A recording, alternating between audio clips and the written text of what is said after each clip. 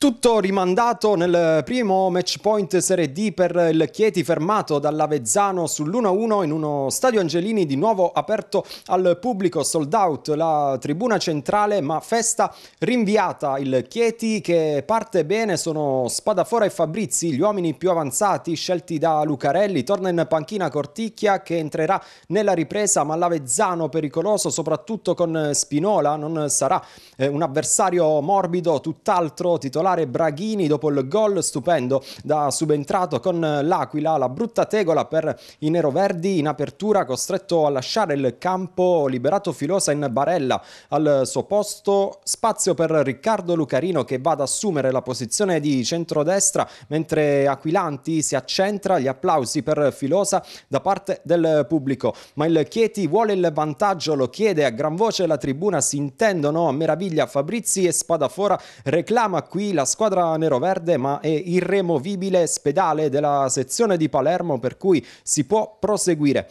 Eccolo, Lionel Spinola a mettere scompiglio nella difesa teatina, una spina nel fianco l'argentino, quindi l'occasione per l'1-0 potenziale con Farindolini, quindi Spadafora che colpisce Jacopo Puglielli in pieno volto, ma secondo i calciatori del Chieti ci sarebbe stato in precedenza un tocco quasi impercettibile di mano del difensore a un passo dal vantaggio vantaggio il Chieti. Sul fronte opposto la sponda per Besana sul fondo Morgan Besana il migliore dei suoi soprattutto nel corso della prima frazione. Quindi eccolo il gol che regala l'1-0 al Chieti ottimo il lavoro di Spadafora difesa impreparata nel frangente poi un tocco dentro a pescare Luca Fabrizi che anticipa tutti compreso Francesco Laguzzi può tornare ad esultare lo stadio Angelini l'urlo liberatorio dei 700 presenti in in tribuna per eh, Luca Fabrizi, un gol che potrebbe risultare pesantissimo nell'economia della promozione, tutti ad abbracciarlo,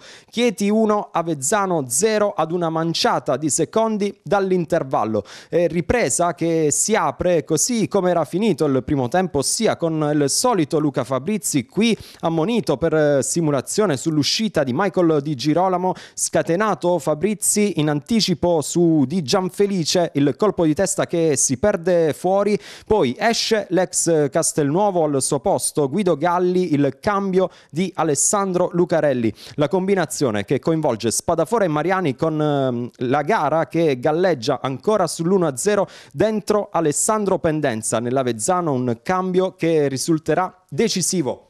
Quindi Spinola che costringe all'intervento in corner Matteo Forti il Chieti che resta sull'1-0 ancora per poco però perché Pendenza con un mancino ad incrociare gela l'Angelini questa volta. Nulla da fare per Matteo Forti, il pareggio dell'Avezzano è terza marcatura per Alessandro Pendenza nel mini torneo. Prova subito a reagire il Chieti che deve segnare un altro gol per risultare davanti al proprio pubblico. Entra anche Anas Ikramella e incide subito sul match con questo spunto sulla destra. Adesso Chieti a trazione decisamente anteriore, ma rischia addirittura di passare in svantaggio nel recupero con l'entrata di Corticchia ai danni di Enkel Ica. Ci sono gli estremi per il tiro dagli 11 metri, secondo Spedale Palermo dal dischetto Pendenza avrebbe la possibilità di siglare la doppietta personale ma colpisce il palo, si salva il Chieti che però non può festeggiare come pregustava